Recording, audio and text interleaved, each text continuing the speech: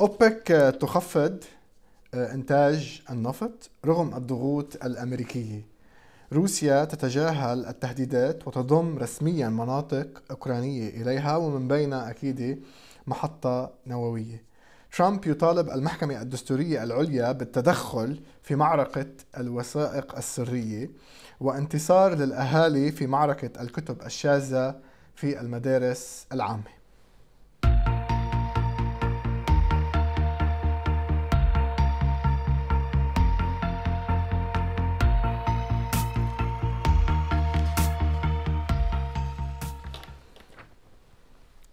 تحياتنا لكم متابعينا ومشاهدينا من قناة الأخبار معكم حسين هاشم وحلقة جديدة ومباشره من برنامج شو فيما فينا. نستعرض من خلاله اخر وأهم المستجدات على الصعيد المحلي والعالمي. هلأ نحن جدد الحلقة بس كمان بنفس الوقت يعني صعب الواحد يحكي هو حاطط Invisalign بسنانه فاعذروني. آه، أكيد عندنا أكثر من خبر في غاية الأهمية رح نتطرق لهم اليوم. دائما لحتى تكونوا على اطلاع بما عم بيصير حوالينا. آه، لدعم هذا المحتوى وللاستمرار في تقديمه بنتمنى منكم متابعتنا على وسائل التواصل الاجتماعي على فيسبوك إنستغرام تويتر تيك توك ويوتيوب. تفعيل جرس التنبيه والانضمام لمجموعاتنا على واتساب. نبدأ بالخبر الأول. مثل ما ذكرت أنا بالحلقة تبعي امبارح نهار الثلاثاء كان آه، كنا عم نقول إنه ناطرين نحن الاجتماع تبع آه، مجموعة أوبك بلس اللي هي في بقلبها 13 دولة على ما أعتقد من بيناتهم روسيا وإيران وسعودية وغيرها من هيدي الدول اللي هي بتشكل دول المنتجة للنفط. آه، هيدا الاجتماع اللي كنا نحن عم نحكي عنه امبارح وعم نقول إنه هناك ترقب لهذا الاجتماع نتيجة إنه هناك قرارات مهمة سوف تخرج عنه. ومنه كان في أخبار صحفية وتسريبات صحفية وإعلامية عم بتقول إنه أوبك المفروض إنه ينزلوا إنتاج النفط. امبارح عم ينحكى كان ما بين 500 ألف لمليون برميل بالنهار. اليوم صار هيدا الاجتماع و آه، هيدا الاجتماع آه، خلاله اتفق أعداء أوبك بختام الاجتماع اللي صار اليوم نهار الأربعاء على خفض الإنتاج بتقريبا مليونين برميل يوميا. رقم كتير كبير صراحة. يعني بعتقد أسوأ الأشخاص يعني المتشائمين ما كان متوقع أنه أوبك تنزل مليونين برميل آه، صراحة. آه، يعني كنا عم نقول لكم امبارح كان اتفاق ما بين 500 ألف لمليون برميل آه، بالنهار آه، اجى القرار اليوم صادم للبعض وخاصة الولايات المتحدة الأمريكية اللي كانت عم تمارس ضغوط كبيرة على آه، دول أوبك بلس بإنه ما تنزلوا الإنتاج تبعكم وهلأ بنشرح ليش. بس بشكل عام القرار الذي صدر اليوم آه، كبير جدا وسوف يكون له تأثير على أسعار النفط ومشتقاته ومنها الوقود. بشكل عام البنزين بتعبوه الديزل بتعبوه المازوت رح يكون في له تأثير كتير كبير صراحة. so اوبك uh, قرروا ابتداء من شهر نوفمبر من شهر 11 رح ينزلوا إنتاج النفط بمعدل مليونين برميل كل يوم. مليونين برميل كل يوم. له تأثير كبير جدا رح يكون. uh, هيدا القرار اجى بعد ما نزلت أسعار النفط بشكل كبير جدا. يعني بعد ما وصلت أسعار النفط ل 120 دولار من ثلاثة أشهر. sorry شفنا أسعار النفط عم تنزل ل 90 دولار وتحت تحت 90 دولار ل 86 دولار تقريبا. فتسعى أوبك بلس من خلال هذا القرار لحتى ترجع ترفع أسعار النفط. يعني هن هدفهم يطلعوا فوق ال 90 دولار ويوصلوا لل 100 دولار لسعر البرميل. آه، أول رد أول رد فعل أمريكي أتى على المتحدث باسم البيت الأبيض جون كيربي اللي قال إنه علينا أن نكون أقل اعتمادا على نفط دول أوبك وباقي المنتجين. و كان هناك حديث في أرواق السياسية في الولايات المتحدة الأمريكية عم بتقول قد يكون هناك مزيد من ردود الفعل السياسية آه، يمكن أن تصل في بعض الأحيان إلى عقوبات في الولايات المتحدة الأمريكية. بدنا نشوف شو هي هذه العقوبات. لحد هلأ هيدا بعده حديث في الأروقة السياسية وعم بيقولوا إنه بايدن غاضب من هذا القرار لأنه بيعتبر هذه صفعة من المملكة العربية السعودية بوجه بايدن خاصة آه، فيما يتعلق بموضوع أسعار النفط والانتخابات النصفية. الميد تيرمز رح تكون بشهر نوفمبر. بيعتبر إنه هيدا رح يأثر سلبا عليه. آه، هيدا القرار رح يرفع أسعار النفط وبالتالي عالميا وبالتالي آه، رح يرفع أسعار البنزين والمازوت في الولايات المتحدة الأمريكية. وبالتالي الناخبين المتجهين لصناديق الاقتراع رح يشوفوا ويتاثروا بهذا الموضوع وسوف يؤثر سلبا على النتائج الانتخابات النصفية. آه، كان هناك خطوات من البيت الأبيض اليوم. تم الإعلان الرئيس بايدن أعلن إنه سوف يستخدم المزيد من آه، النفط الموجود في الاحتياطي الاستراتيجي للولايات المتحدة الأمريكية ال US Strategic Petroleum Reserve S SPR بشهر نوفمبر. كنا المفروض نحن نوقف استعمال الاحتياطي الاستراتيجي ب 31 أكتوبر ولكن أعلن بايدن اليوم إنه بشهر نوفمبر رح كمان يستخدم 10 ملايين برميل من هيدا الاحتياطي الفيدرالي لمواجهة ارتفاع الأسعار المرتقب من وراء قرار أوبك. هناك أصوات في الكونغرس الأمريكي من عدد من أعضاء مجلس الشيوخ ومجلس النواب عم تطالب الإدارة الأمريكية بأنه يخف يخففوا اعتمادهم على آه، النفط ومشتقاته من الخارج ويبلشوا يستخرجوا نفط أكثر وأكثر بالولايات المتحدة الأمريكية. ولكن الخلاصة لهذا القرار آه، إخواننا آه، الخلاصة فيما يتعلق بهذا القرار إنه اوبك نزلت الإنتاج وبالتالي العرض رح ينزل لما العرض بينزل والطلب بعده مرتفع إلى حد الآن. هذا يعني للأسف الشديد إنه أسعار البنزين أو النفط ومشتقاته بشكل عام إن كان بنزين ولا مازوت رح ترجع ترتفع من أول وجديد. وهو اللي كنا عم نشوفه نحن بالولايات المتحدة الأمريكية. آه بنوصل للخبر الثاني المتعلق بالرئيس الأمريكي السابق دونالد ترامب. مثل ما بتعرفوا هناك معركة قضائية حتحصل الآن فيما يتعلق بالوثائق السرية.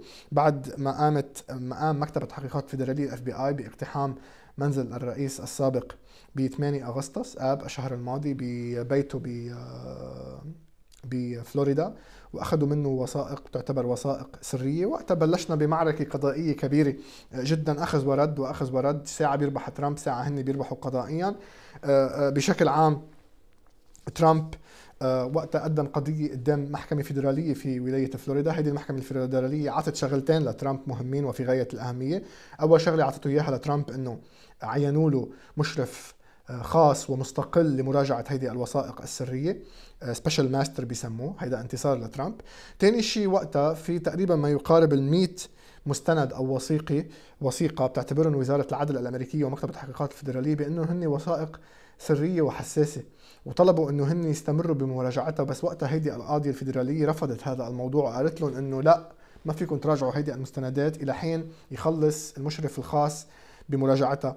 ولكن وزارة العدل راحت وقدمت استئناف عند محكمة الاستئناف court of appeals 11 US Circuit Court of Appeals وقتها آه، هيدي المحكمة محكمة الاستئناف وقفت مع وزارة العدل في هذا القرار وطلبت من آه، آه، المحكمة الأدنى منها أنه هني لا ما فيك أنت تعملي هيك. هودي ال 100 وثيقة سرية لازم وزارة العدل تستمر في مراجعتهم لأنه مهمين جدا للتحقيقات.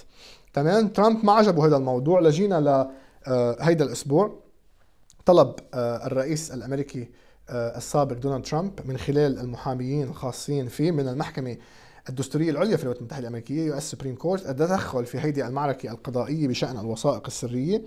وطلب منهم إنه ما يسمحوا لوزارة العدل الأمريكية بمراجعة هيدي ال وثيقة آه، قبل ما يخلص المشرف ال special master يعني المشرف الخاص مراجعة هيدي الوثائق.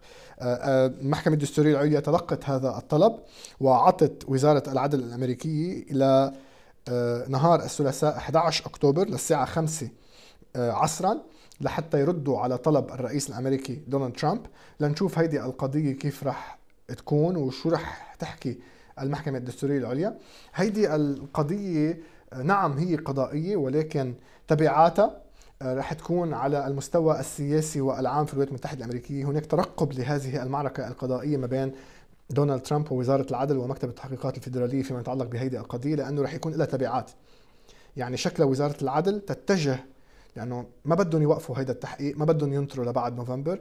شكلها إنه بدهم يكملوا بهيدي التحقيقات وشكلهم بدهم يوجهوا اتهامات لترامب بهذا الموضوع. اولا إذا وجه اتهامات شو رح تكون ردة الفعل لمناصرين ترامب؟ كنا عم نشوف تهديدات وثاني شيء هل سوف يكون هناك يعني آه، أحكام على ترامب من ناحية منعه من يعني يعني خوض المعركة الانتخابية الرئاسية أو أحكام أخرى؟ بدنا نشوف كمان. الأيام المقبلة سوف تكون حساسة فيما يتعلق بهذا الموضوع. سو نحن بانتظار آه بانتظار آه قرار المحكمة الدستورية العليا وتبعات هذا الموضوع. آه ننتقل إلى خبر آخر يتعلق ب آه، آه، المعركة الحاصلة العسكرية. هون معركة سياسية قضائية. ننتقل إلى معركة آه، عسكرية للأسف الشديد اللي هي عم تصير ما بين روسيا وأوكرانيا. كما تعلمون ب 30 أيلول سبتمبر آه، وقع الرئيس الروسي فلاديمير بوتين على اتفاقيات مع رؤساء المناطق الأربعة الأوكرانية بشأن قبول هيدي المناطق بروسيا. وكما تعلمون هيدي المناطق هي كل من آه، جمهوريتي دونيتسك ولوغانسك الشعبيتين ومقاطعتي خيرسون وزاباروجيا ضمن إلى روسيا. المحكمة الدستورية في روسيا صدقت نهار الأحد على وثائق الانضمام و آه، أكيد هيدا اجى هذا الموضوع بعد بعد الاستفتاءات الشعبية اللي حصلت في هذه المناطق. آه، أكيد كمان شفنا لما وقع ب 30 أيلول أو ب 30 سبتمبر آه، بوتين على هيدي المعاهدات الاتفاق كان معه وقتها ممثلين عن هودي المناطق الأربعة. ولكن اليوم اللي حصل شوي صار رسميا هيدي المناطق صارت لروسيا لأنه وقع الرئيس الروسي فلاديمير بوتين يوم الأربعاء على القانون الاتحادي للتصديق على معاهدة انضمام جمهوريتي دونسك ولوغانسك وأيضا مقاطعتي خرسون وزاباروجيا إلى روسيا. هيدا يعني رسميا هلأ اليوم الأربعاء صاروا مناطق روسية. بالإضافة إلى التوقيع على هذا القرار إخواننا كان هناك قرار وأمر آخر صراحة في غاية الأهمية وله دلالات كبرى. حيث أصدر الرئيس الروسي فلاديمير بوتين اليوم الأربعاء أيضا مرسوما يقضي بنقل ملكية محطة زاباروجيا للطاقة النووية إلى روسيا وهي أكبر محطة لتوليد آه، محطة لتوليد الطاقة آه، آه، بأوروبا. هذه أكبر محطة. وبالتالي على الرغم من أنه كانت روسيا هي مسيطرة على هذه المحطة عسكريا ولكن كانوا الأوكران هن اللي عم بيشغلوها المهندسين الأوكرانيين. اللي صار اليوم نقل رسميا تم نقل ملكية هيدي المحطة للطاقة النووية من أوكرانيا لروسيا بشحطة قلم وبالوثيقة اللي وقع عليها آه، فلاديمير آه، بوتين اليوم قال أن حكومة روسيا الاتحادية سوف تقوم بالآتي. أولا ألف ضمان قبول منشآت استخدام الطاقة النووية في محطة زباروجيا النووية لتوليد الطاقة الكهربائية وأي ملكية أخرى ضرورية لتنفيذ نشاطها في الملكية الفيدرالية ثانيا باء اتخاذ تدابير إنشاء المؤسسة الحكومية الفيدرالية. محطة زباروجيا للطاقة النووية بهدف توفير أمن منشآت استخدام الطاقة النووية في محطة زباروجيا النووية لتوليد الطاقة الكهربائية. كذلك أصدر بوتين مرسوما يقضي بوضع محطة زباروجيا للطاقة النووية تحت الإدارة الروسية. So, اليوم رسميا وقع على القانون الاتحادي للتصديق على معاهدة الانضمام لهذه المناطق الأربعة وثانيا نقل ملكية ملكية محطة زباروجيا النووية لتوليد طاقة كهربائية اللي هي أكبر محطة نووية لتوليد طاقة كهربائية بأوروبا لروسيا. قرارات آه، قوية سو من هلأ ورايح هون ركزوا لي شوي على روسيا وعلى أوكرانيا. هلأ تغيرت المعركة. قبل كانت أراضي أوكرانية روسيا عم عم بتقول في انفصاليين وقصص وحكايات. أوكرانيا عم بتقول نحن عم نحاول نسترجعهم. هلأ لا هلأ صاروا بالنسبة لروسيا على الأقل أراضي روسية وبالتالي أوكرانيا بتقول أراضي أوكرانية محتلة. روسيا عم بتقول رسميا وفي في هلأ قدموا عملوا استفتاء وقدموا طلب لروسيا. والبرلمان آه، آه، صدق عليها المحكمة الدستورية بروسيا صدقت عليها. بوتين وقع عليها وبالتالي أصبحت رسميا أراضي روسية. هل انتقلنا هلأ إلى العقيدة الروسية بالدفاع عن الأراضي الروسية؟ بدنا ننطر هلأ. هالكم يوم لنشوف شو بده يصير. فمن اليوم للأربعاء وطلوع المفروض إنه معايير المعركة تغيرت. بس بدنا نشوف على أرض الواقع شو عم يتغير. تمام؟ بدنا ننطر هالكم يوم. طيب ننتقل إلى الخبر الأخير بحلقتنا لليوم. ننهيها بشكل إيجابي نحن وياكم. بما يتعلق بقضية اللي أثرناها نحن آه، بموضوع الكتب الموجودة في المدارس العامة وخاصة في مدارس ديربون العامة. وقتها طلعنا وتحدثنا عن بعض الكتب الموجودة بالمدارس اللي هي آه، في بقلبها يعني أشياء شاذة في بقلبها محتوى جنسي في بقلبها خطاب يحض على الكراهية في بقلبها شتائم في بقلبها رسومات تبرر العنف. وقتها يعني تكلمنا عن هذا الموضوع في كل وضوح. آه كمان آه شفنا بعض التحركات للأهالي والمظاهرات أو المظاهرة التي حصلت للمطالبة بمراجعة هيدي الكتب. آه بدي منكم قبل ما أحكي عن الموضوع هلأ بشكل عام بدنا شغلة كثير مهمة ننتبه لها هيدا الموضوع هو موضوع آه، علمي بحت ليس موضوع سياسي أو موضوع ديني وبالتالي بتمنى من إخواننا بالجالية يبعدوا السياسي ويبعدوا الدين عن هذا الموضوع. هذا الموضوع يتعلق بالأطفال وبأولادنا بالمدارس.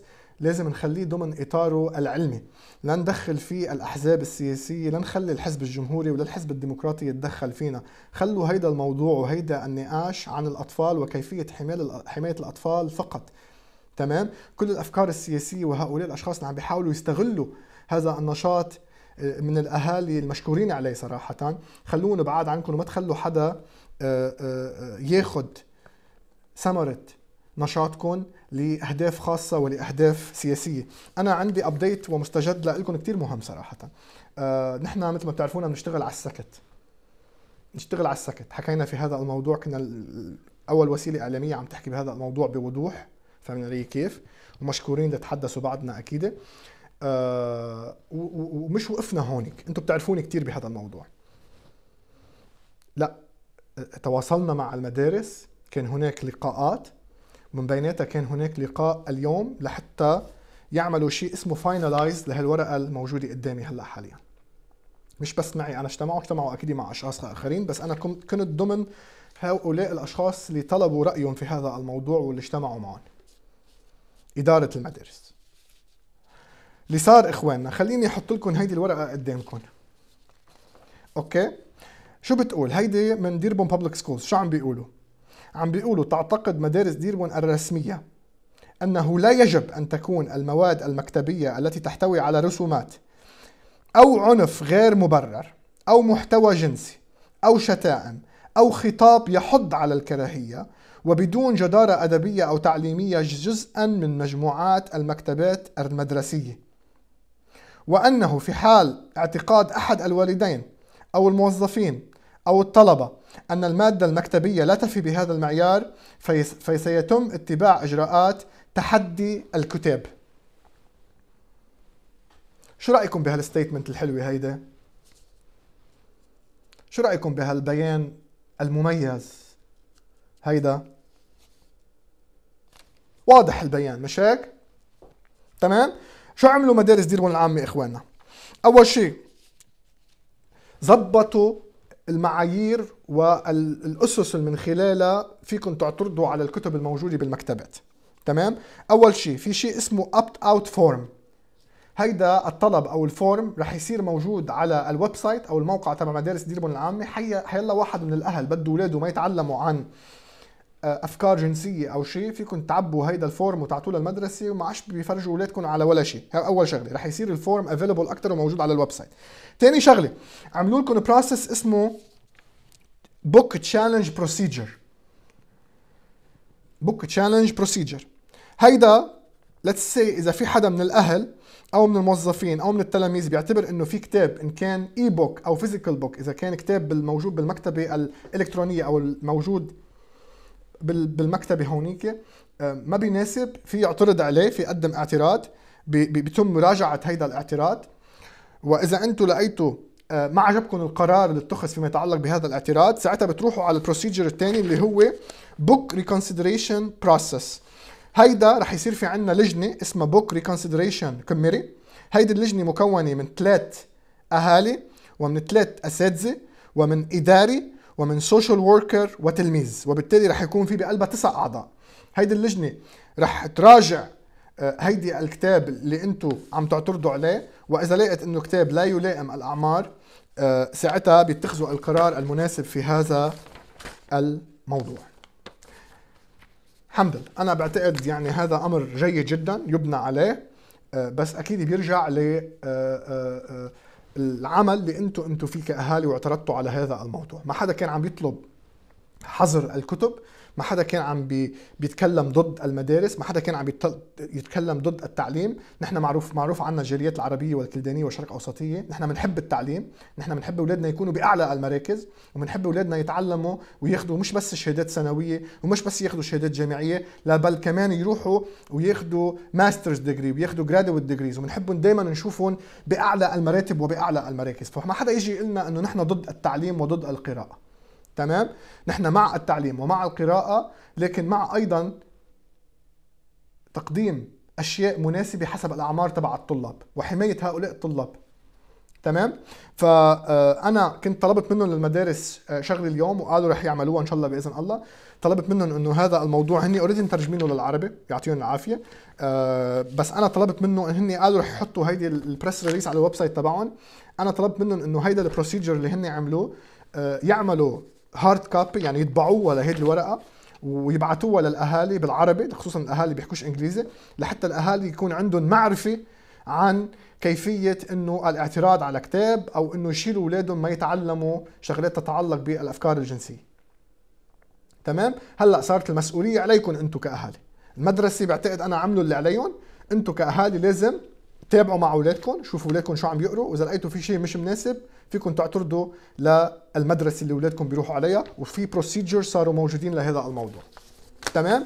هيدي كانت حلقتنا لليوم من برنامج شو في ما في معي أنا حسين هاشم من قناة الأخبار.